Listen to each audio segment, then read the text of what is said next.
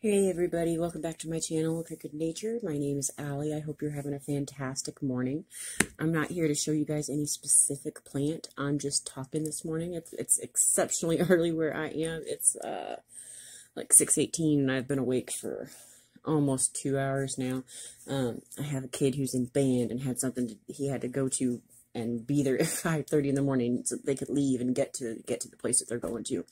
Um, it's crazy. They've got a a, a function on a school day, which is totally unusual. But anyway, I am awake, and I am awake, awake, and I thought that I would take a quick minute and show you guys my plant area.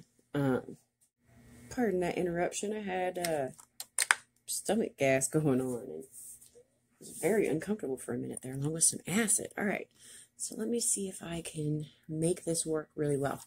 All right, guys, I don't usually have anybody um, come over. We're, we're not real big on company and things like that. And so most people don't really get to see this area of my house. My daughter calls it the fairy garden.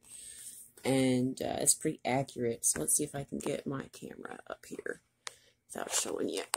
Um, hopefully too many dead plants because, you know, they happen too. All right, so let me start from entering my area. So you enter my area, and there's plants to your right, and there's plants to your left. So we've got a small monstera, our spider plant here. And there's a philodendron on the floor, and a bunch of Hoyas on this table. Some tiny begonias back there that are probably not going to make it. My aloe is making it though. It's actually doing really well. That was a baby that we separated off from from its mother plant, and it is actually really big. Moon uh, moonshine. See, it's very moonshine over there. It's a that was a baby that I separated from a bigger pot as well. Got some philodendron. I've got baskets hanging from my ceiling. All right, now let's see if I can walk into the area without hitting too many things or making too much noise with the wind chime. Because there is a wind chime right down there. There's a dragonfly wind chime. All right, so it's my nice mass cane, and uh, it's actually leaning. It's kind of crazy. It was leaning when I got it, and I repotted it and was able to get it to lean less. So technically, it's at less of an angle than it was before. Let's get down in here. I've got little gnomes. There's a little uh, gnome doing yoga, and there's some frogs in there, and mushrooms. mushrooms. There's a little. There's just a bunch of stuff. A bunch of plants. My other giant uh, aloe, mother aloes. Oh my a big monstera that's back in there. That's actually a really, really big pot. I, I don't have a good size comparison for anything, but it's a those are big pots. Um, got some gorgeous marantas. I like prayer plants. I'm not too big on the calatheas. I'm not sure why, but I definitely seem to have a more difficult time taking care of calatheas. Hopefully that's just I'm a little too neglectful and I, I'll get better at that and better with that but I definitely have already lost one, so I'm not terribly worried about getting another one anytime soon. Got the Argerias here, which is doing really, really, really well. Look at how giant those leaves are. I didn't expect them to get that big. I expected them to be more like that size.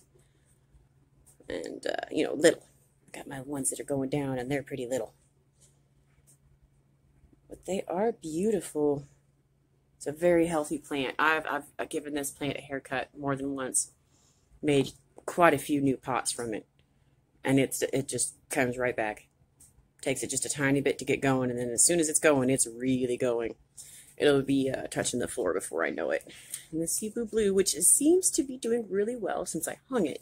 It didn't seem to like sitting, but once I hung it up, it started to shoot out some new growth. Um, I still have some of these yellowing leaves. I'm going to go ahead and give this guy an extra pest treatment, maybe some neem oil. I'm not sure what I'm going to do with him yet, but it's doing really well. I've got some global, global green pothos right here.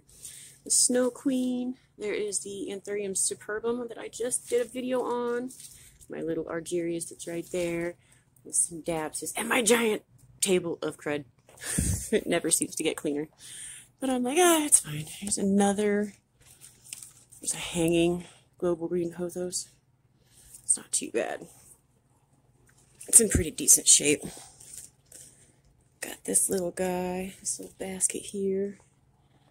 One of my favorite hanging baskets is this one here. And uh, it's got quite a few different plants in here, and there's actually Pothos enjoy hanging out down there. I've got a in the center, which is not the same kind as this one. This is a lemon lime.